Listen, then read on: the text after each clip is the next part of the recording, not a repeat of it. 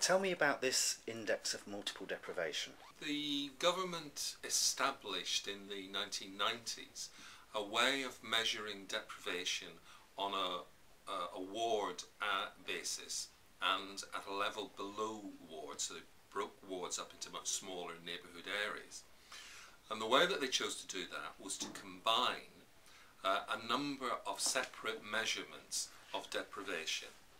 Um, the key among them would be uh, unemployment stats, health statistics for an area, um, issues about economic activity, community safety, levels of crime, quality of housing, and they've combined those together uh, and given each of them a different weighting. So I think the one that gets the biggest weighting is the unemployment indices, and then the others um, perhaps get different weightings.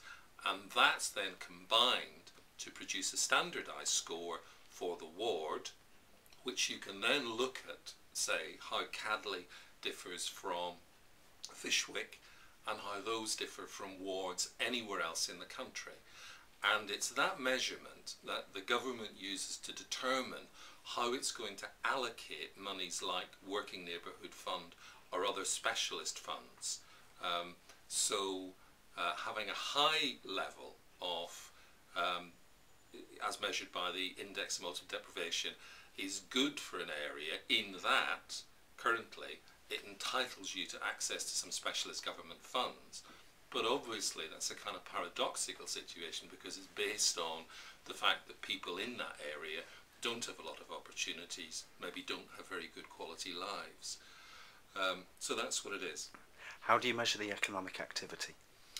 Um, economic activity um, is measured by um, those people who are in an area, who are available for work, who are engaged in uh, either paid or unpaid work. So it, uh, it, it uh, the Preston overall has actually got quite a high level of economic activity. Um, but obviously in the most deprived wards, um, then that's not the case.